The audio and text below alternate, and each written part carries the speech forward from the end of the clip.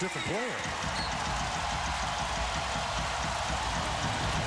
Mitchell to inbound. Ingles catching, firing, scoring for three. I just can't let that happen. That's